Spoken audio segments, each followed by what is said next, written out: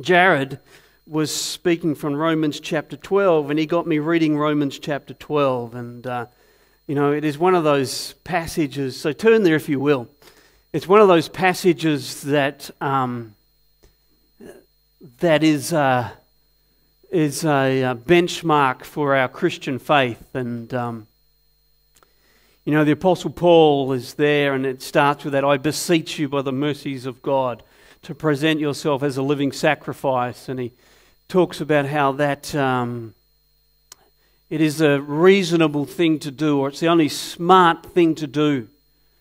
Uh, it's, it's the only sensible thing to do in, in light of the world and in light of destiny, in, in light of our fallen nature, and in light of all that comes against us. The only smart thing to do is to present yourself to God that He might uh, and it goes on to say, and this is where Jared was sort of, em- his emphasis was upon the fact that, you know, we should not be, you know, conformed to this world, but we should be transformed by the renewing of the mind that we might prove that which is, which is the good, acceptable, the perfect will of God for our lives, you know.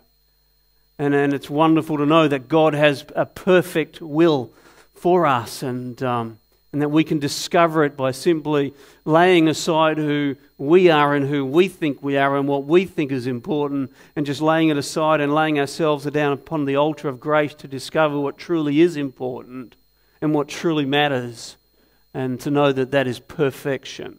Because we all want that, don't we? In our lives. And uh, but you know, it goes on. That's where Jared was. But it goes on and it talks about how you know God has gifted us to uh, to be able to, to to live this life. And then it goes on and talks about about um, really the authentic Christian life.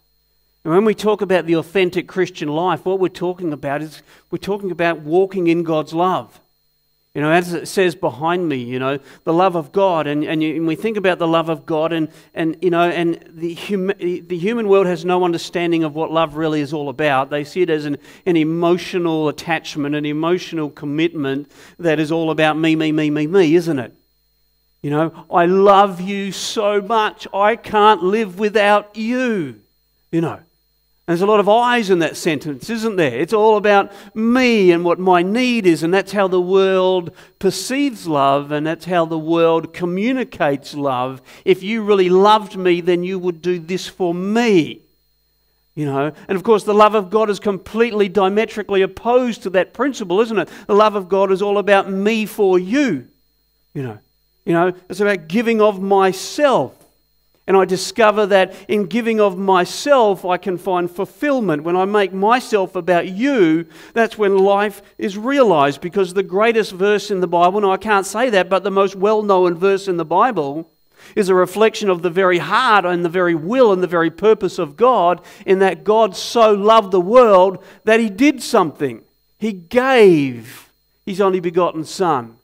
And whosoever should believe on him shall not perish, but have everlasting life. His Son didn't come to condemn the world, but by through him we might be saved, it says. It's all about God giving, and it's the very heart of God. And so what we notice that love is something very foreign to this world, well, genuine love that's going to change this world and identify you as a believer. You know, it says on that thing behind me there, you know, love has an, it has an energy, it has a morality, it has a generosity, it has a commitment. You know, and that's what I want to look at this morning, if we will. Um, Romans chapter 5 says this that the love of God has been poured out into our hearts by the Holy Spirit. That's Romans 5 5. You don't, you don't need to go there if, unless you really want to, of course. You know. But it's been poured out into our hearts by the Holy Spirit. And so God has given us his love and God has, you know, given us the spirit of God that we might have the strength of God to walk in this love. And and the way you love is simply by being obedient to God's word and relying upon the spirit of God to lead us in this world in God's love. And I'm going to say that a lot, I guess, I guess this morning, in, in God's love, because, you know, and we need to understand that, that it's not something that we can of ourselves generate. It's not something that we of ourselves can even maintain, but it is something that is born of God in you. And it's something that is sustained of God in you. It is something that is, is, is, is, is spread from you because of the work of the Holy Spirit in your life. But, you know, and, and, and it's very important that you and I understand that because we naturally are not that way. You know, because we naturally are very selfish, aren't we? We naturally are very easily offended. Haven't you noticed that about us? We are naturally very judgmental of one another. Have you noticed that? You know, we're very selfish, we're easily offended, and we're very judgmental. But God wants us to love regardless of any circumstances that we might find ourselves in. God wants us to be deliberate in love, deciding to love. It's a decision of our will, you know. Even when we are rebuked, even when we are attacked, that's what the love of God is really all about. That's when it shines. Because it's so easy to love when everybody is placating to me, isn't that right? When they're telling me how wonderful I am and they're telling me that, you know, I am the, I am the whatever. It's easy when I'm being loved to love, but it really shines when against our nature and against our bent that we choose, that we are decisive to love. And quite frankly, our selfish, uh, how can I describe it? I've already done it, I know. But our selfish, oversensitive, oversensitive judgmental little natures simply by themselves are not capable of doing that. They're not. And so that's why the born again Christian the person with the Spirit of God dwelling within them, you know, can love with this. Well, the word is unconditional, isn't it? This unconditional love. Doesn't need anything in return. And so Paul begins with the fact, and I just want to start in the ninth verse. I didn't verse, I didn't tell you that, did I? Paul begins with the fact that the love that we love with is um, one of sincerity. Notice what it says there in that verse let love be without hypocrisy. Now, th- this is a verse, or this is a word that we Christians are very familiar with. Let, let us love without hypocrisy. In other words, let our love be sincere. Let it be without hypocrisy. Now, this is absolutely foundational to our conduct. What is the hypocrite? The hypocrite is someone that wears a mask, isn't that right? The hypocrite is someone who's pretending to be something that they are not. And we live in a culture that is constantly encouraging us to live with an image, to be something that we aren't. You know, someone that wears a mask, someone that is pretending to be something that they're not. And uh, we must not I know this is simple, but we must not do this. There's deep and profound teaching for you, isn't it?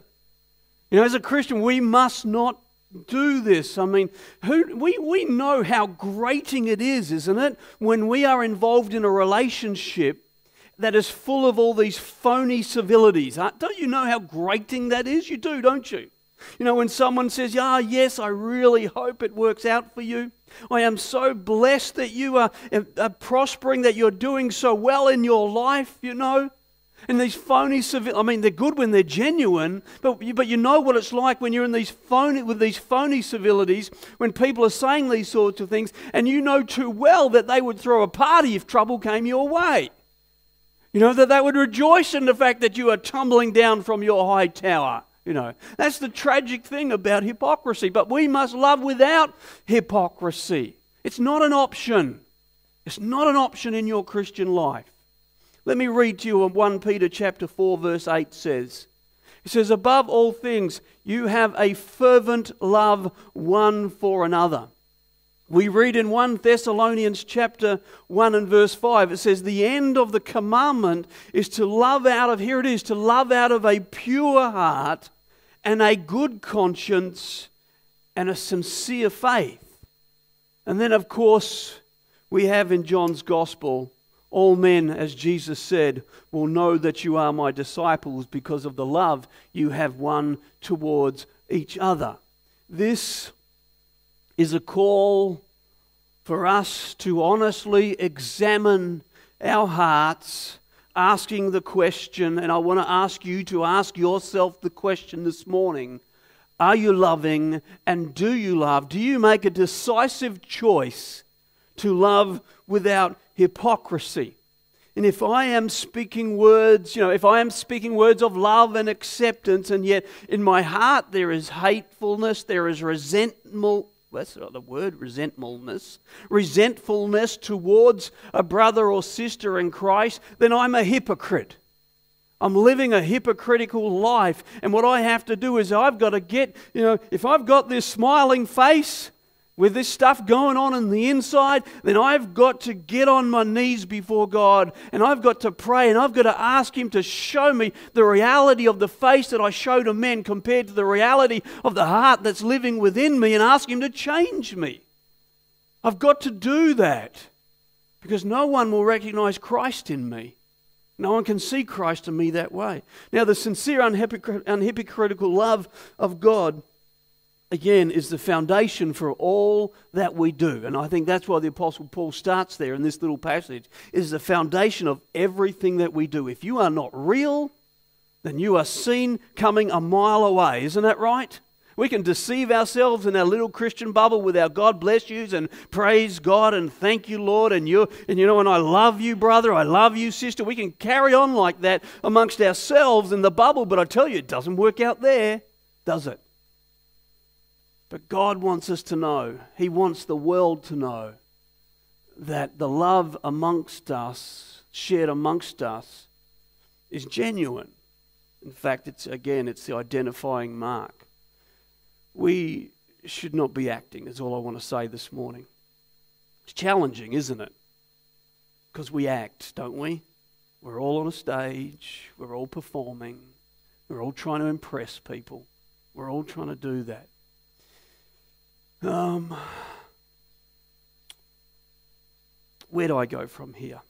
Let's just keep reading, shall we? Let's have a look at some the specifics of this love, if you will. It says in that ninth verse again, abhor, says love without without hypocrisy, but abhor what is evil Cling to what is good. Abhor what is evil. In other words, detest, hate. That's what that means. What is evil. And cling to what is good. And when it says cling to, it, the idea of the word cling there is, is to be glued to. It means to attach yourself to it, to things that are good, not be separated from things that are good. Hate evil, cling to what, join yourself to what is good. And some might think that love is soft on evil. Have you noticed that?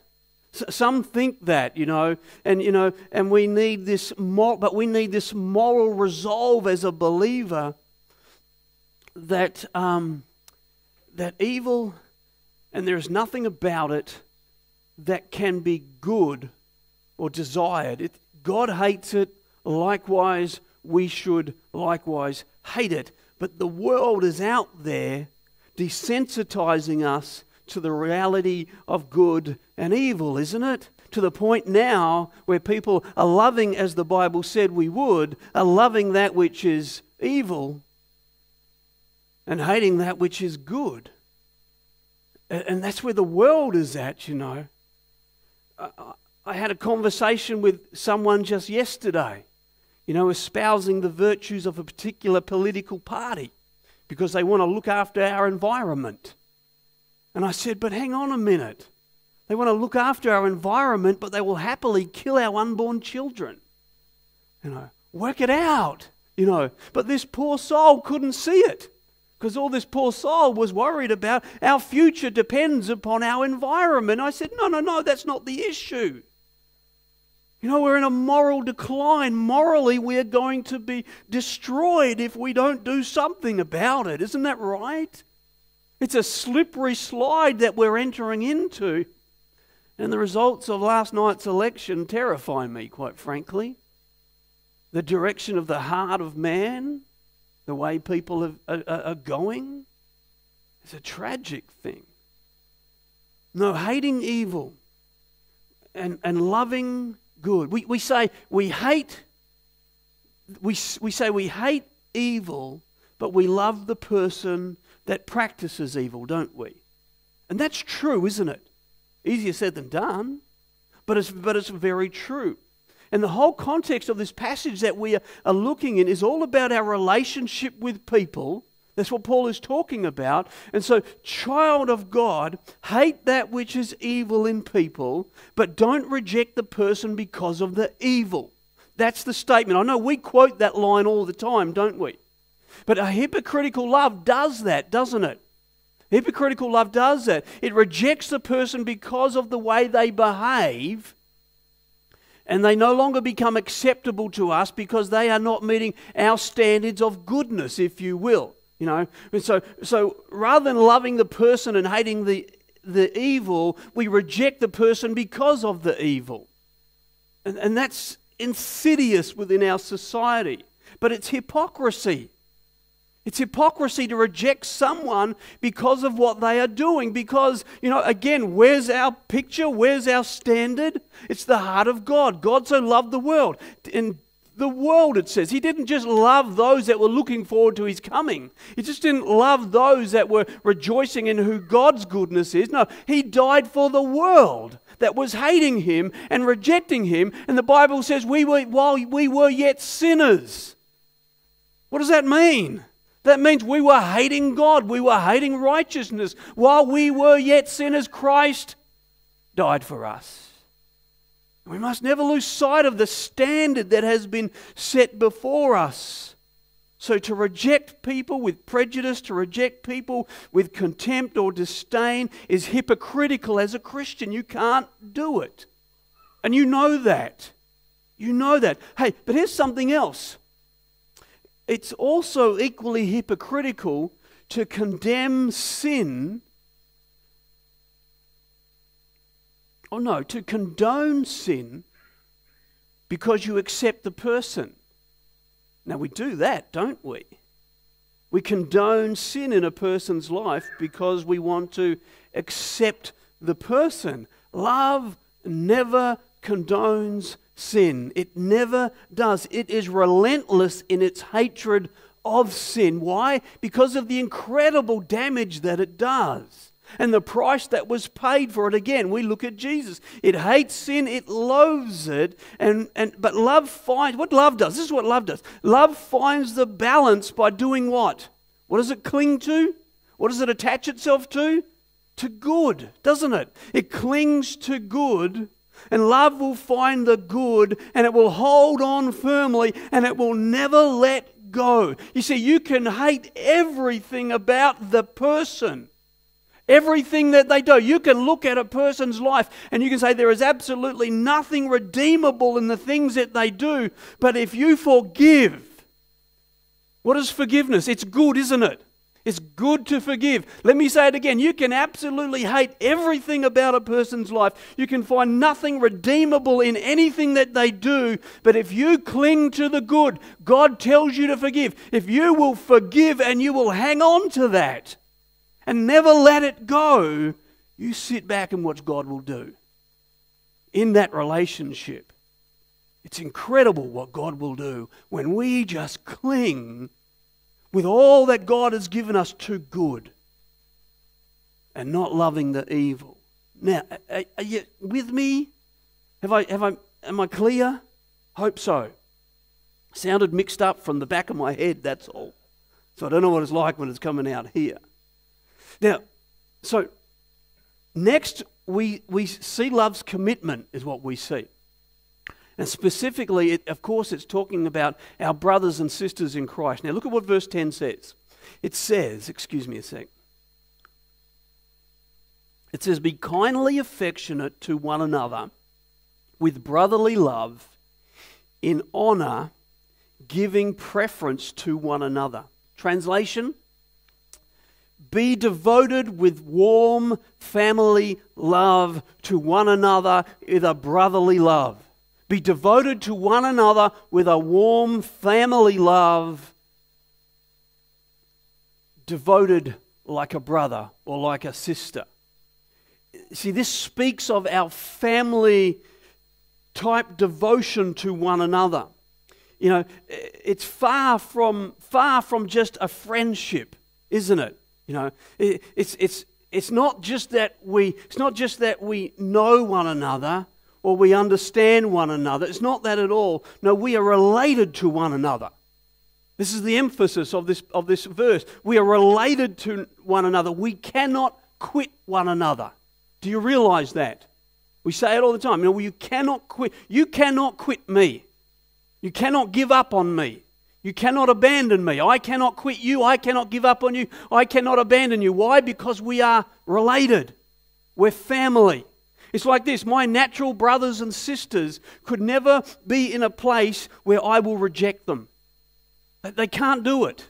It's the same as my children. My children can never do anything that's going to put me in a place where I look at them and say, You are dead to me. It's never going to happen. The love of God in me will not allow it to take place. It can't be. It's an impossibility. Can I say it again? You know, that, that's what this family is all about. And that's what we are as brothers and sisters. We are this family who cannot quit one another. Now, love also takes pleasure in the elevation of other family members, doesn't it? This is where it gets really, I've already said this, I know. But, but look at that verse 10 again, where it finishes in honor giving preference to one another. You see, this is the way that church ought to be, isn't it? Honoring one another, giving preference to one another. You see, my love for you will never allow me to be separated from you because I put myself before you. This is the ideal, okay? This is how it's meant to be. My love for you should always seek Remember the posture of a Christian? Do you remember what it is? Do I have to show you again? Is this it? Is this our posture? Is this what it is? Down on top of you, Phil? Or is this my posture? Is this the posture of a Christian? It's here, isn't it? It's underneath, it's lifting, it's supporting. That's the posture of a Christian. And love will always do that. It will come underneath and it will lift up others. It will make preference of the others. The heart of God cannot do anything else within a believer. This is genuine godly love. It's the way it needs to be for us to be able to operate as God wants us to be, for the world to look at us and say, genuinely, there is a love in them that they can't explain. It's the love of God. Because you know what? What self does, this over top, self destroys family. It does. It destroys family. You know the song that I quote so often. You know, you know, with the little boy. Do you remember the film clip? What about me? The song. Remember it? The little boy who was from the 70s, I asked this not long ago. Who was from the 70s remembers the film clip? Of, yeah, of the little boy, yeah, of the little boy coming into the, the lolly shop or whatever it was, and everybody was in front of him and they were all pushing past him, and he just wanted to get served and he couldn't get there, you know, and this little boy sitting there, push back, push back until finally, finally something within him wells up and he just cries out at the top of his voice, What about me? It isn't fair. I want my share. What about me? And we look at that and we with tear in our eyes, maybe not, but we look at that and we go, oh, isn't that so sad? It's, you know, you've got to listen to the kid. Oh, yeah, sure. But stop for a minute and think about that principle of life. If every single one of us was going, what about me? What would the world be like? If every single one of us was only concerned about me getting my share, what would the world be like? What a horrible place. That will be hell on earth. You know that? But the opposite is true as well. What if every single one of us was concerned about the other person? If your needs were more important to me than mine, imagine if we were all like that. That's when That's heaven on earth, isn't it?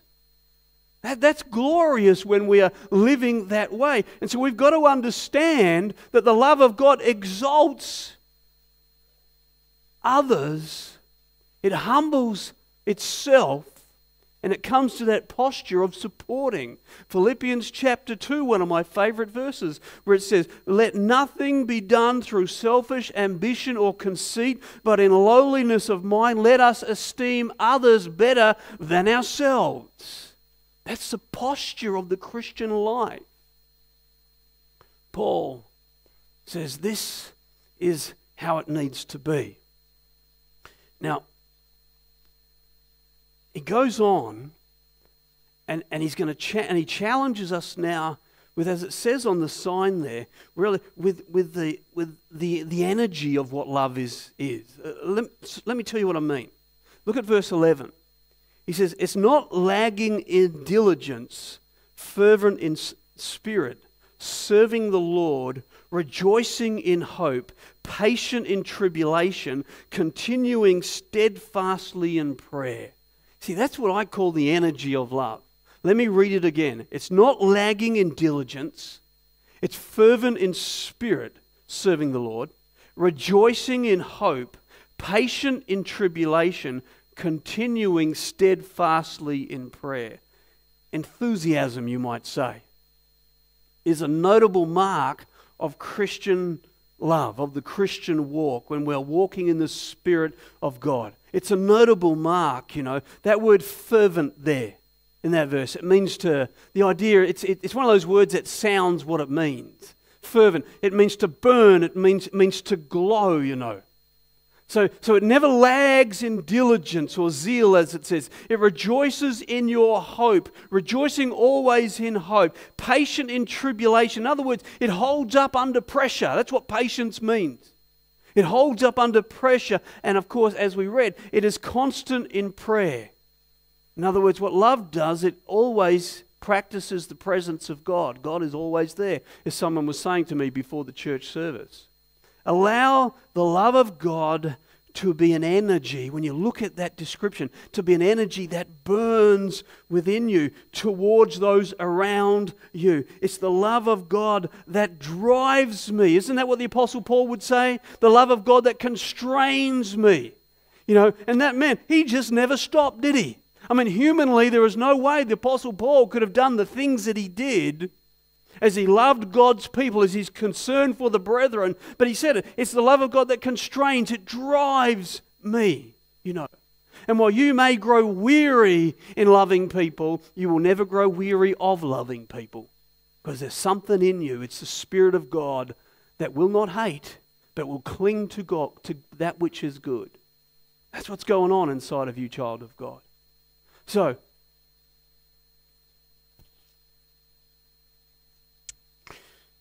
burns. Think about that word. Glows. What's the opposite of that? Burns, glows. The opposite is dull, isn't it? The opposite of that. I say that because I'm going to digress a little bit because there's only one thing. Well, there's a few things, but there's one thing that really nauseates God. You know what it is? You go to the book of Revelation, you can read it in the third chapter, in the 14th or 16th verse, I think it is. Who knows? What is that one thing that nauseates God? Lukewarmness, isn't it? See, isn't that, isn't, that a, isn't that an opposite to what Paul is describing when he says about the love of God? It burns, it glows, but lukewarmness, it, it, it just nauseates God. Neither hot nor cold, just going along with the crowd. God says it makes me sick. It makes him sick. So again, be fervent in your love as you serve the Lord. I mean, just think of David. I mean, I love David. We all love David. This young shepherd boy. Think of David, and then think of this giant nine foot man, Goliath. You know the story. You know, he brought this Goliath brought all of Israel, the entire army of Israel, to, to this state of fear and, and, and, and despair. And no one had the strength, no one had the, the, no one had the, the enthusiasm to be able to rise up against this man. No one but, of course, we know the story, young David. You know, it's great, isn't it? And without fear and without doubt, he looked at this impressive giant of a man, and with the fervency of the Lord in his heart, and the purpose of God. He said, Who is this uncircumcised Philistine who dares to defy the armies of the living God? What a, don't you want to be there? Didn't you want to hear that come from his lips? You know? Incredible, isn't it? You know, that, and you think of recent history, you think of men of God that, that you know, that, that, with imp- that just simply will not stop. You know, because the, the love of God constrains them. We look at men like John Wesley, you know, who, who on an average, you know, he rode 120 kilometers a day, not in a comfortable car, but on the back of a horse. And he preached three messages a day. The love of God constrained him. We hear testimonies of men like Moody, who said, he often said at the end of the day, his final prayer was simply this Lord, I'm tired. You know, you know, it's incredible, isn't it? Luther was another one who literally just fell into bed. But again, they were never weary of the, the Lord, serving the Lord and loving God's people. Never weary of it. Yes, they got weary in it because they're human beings. They got tired. But again, the love of God constrains them. Why? Because they hate evil. They see the damage that evil does. They cling to that which is good because they see the redeeming value of someone being good and hanging on to good. You know, they're devoted to the family of God. They will never abandon the family of God. And they labor with this enthusiasm. And it's always available. Why? Because the Spirit of God is the thing that's driving them. And are they any different to you and I?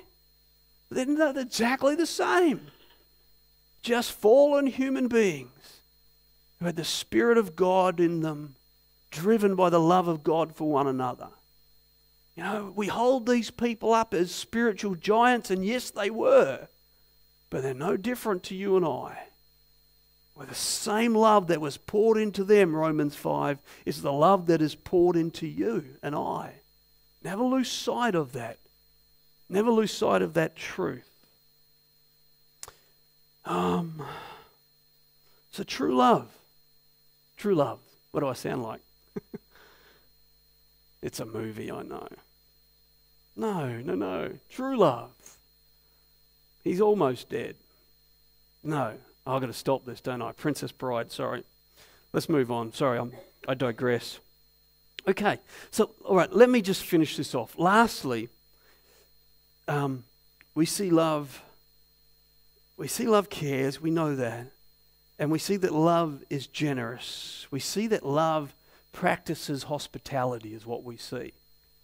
And that's a Christian word, isn't it? You know, it's one word that we, we've really, it's our word, hospitality, you know. Look at verse 13. Distributing, it says, to the needs of the saints given to hospitality. Here's the thing the difference between living in Australia and the third world, a third world country, is that we tend to forget that people have real needs in our community, don't we? Why? Because we're not confronted by it every single day. See, if you lived in a third world country, the moment you open your eyes and you stepped out into the street, as you stepped over the fellow begging outside your door, you know, or the people going through the rubbish, or the people begging on the streets. You know, every single day they're confronted, you're confronted by it. But here in, the, here in our world, this is our problem for us, you see. We're not confronted by it, and you and I know that we can go through an entire day being conscious of nothing but my own needs. Isn't that right? I do it all the time. You know, I've got this clock going in my head. This is my day this clock that's going in my head says, okay, you've got to be here then, and then you've got to be there, and then you've got to be there, and then you've got to be there, and you've got to get home, and then you've got to put on another hat, and then you've got to become this person, and you've got to go and do that. And you know, most days of the week, we don't, you, know, you don't get home much before 10 o'clock. You know, Donna hates me for it. No, she does. She loves me for it. Sorry. She hates the fact that I'm not there a lot. But you know, and this is my life, and I'm going like this, and I'm, you know, and I'm thinking, me, you know, and I can get my entire day just conscious of the fact that I'm here and completely, completely oblivious to the fact that there are people all around me that have incredible needs. You know, Christians, we have a direct responsibility to care for one another, to provide for one another. You know, we care for one another, we provide for one another, we give for one another. We should be willing to give out of our substance to help one another. That's where it starts to get a bit offensive, isn't it? When the preacher starts saying things like that. But it's true. We should be willing to dig into our pockets to be able to support one another.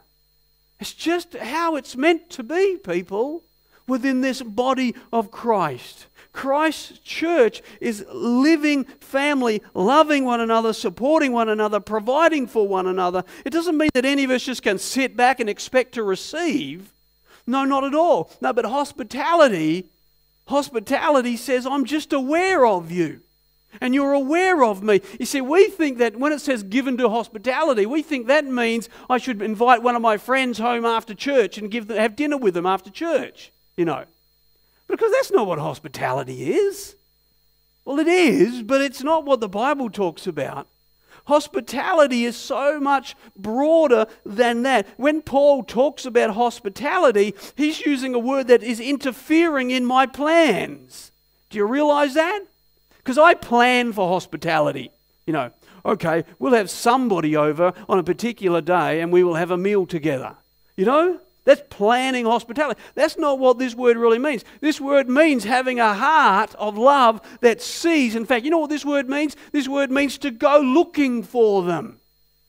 In your community, go looking for those that have a need. Have an eye open to see with a fervent love for those that have need. Can you imagine what it would be like if we live like this? Can you really imagine what church community would be like if we really practiced this love? It'd be dynamic, wouldn't it? Wouldn't it?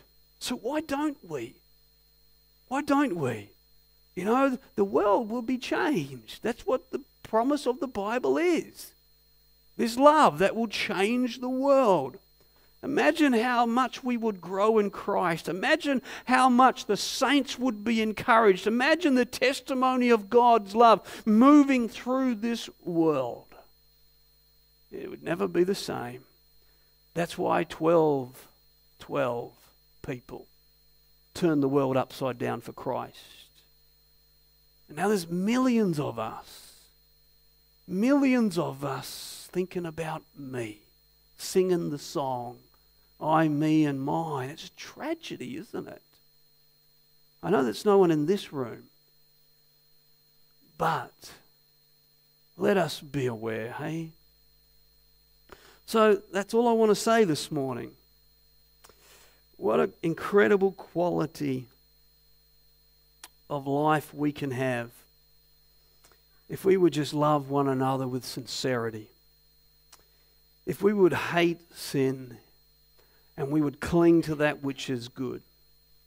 If we would have a commitment to family members, if we would recognize the importance of family and one another, and if we would live in this supernatural, and that's what it is, this supernatural energy, this zeal of God's love, joyful, joyful, lifting one another up, faithful in prayer. Imagine it. All the petty little squabbles we have, you know. He said this, he did that, she didn't treat me right. Poof. Baby stuff. Baby stuff. Let's love with a love that'll change the world, okay? Starts here in this room. Starts in our home Let's pray. Father in heaven, we know it's so much deeper. We know it is so much richer than anything that I have said this day. But Lord, in this place, these hearts gathered before you, pray, Father God, that we would seek, Lord, not only to know this love, but to experience it in, in our lives, Father. And if we're in this place today and we're separated from our brothers and sisters because of petty issues, oh God, I ask you, Father, forgive us. I ask you, Father, that you would uh, cause us to go to one another, if we can, today, this very morning, to restore ourselves one to another, to let your love bring about a healing, prosperous touch upon our lives. Thank you for the testimony that can come from this body of believers. Thank you, Father, that we know this world can be changed because of just the few hearts that are gathered in this room today.